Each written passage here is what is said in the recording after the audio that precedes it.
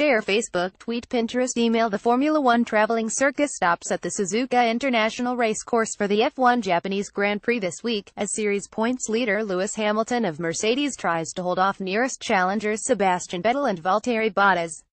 With just four races left in the season, Hamilton leads Ferraris Vettel by 34 points and Mercedes Bottas by 59 points.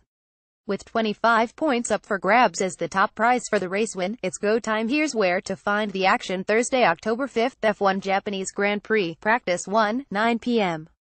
Streaming Friday, October 6 F1 Japanese Grand Prix, Practice 2, 1 a.m.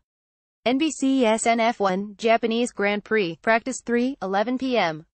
Streaming Saturday, October 7 F1 Japanese Grand Prix, Qualifying, 2 a.m. NBCSN Sunday, October 8 F1 Countdown, midnight, NBCSN F1 Japanese Grand Prix, 1 a.m., NBCSN F1 Japanese Grand Prix, 9 p.m., NBC Stay Delayed NBCSports.com and the NBC Sports at all times ET.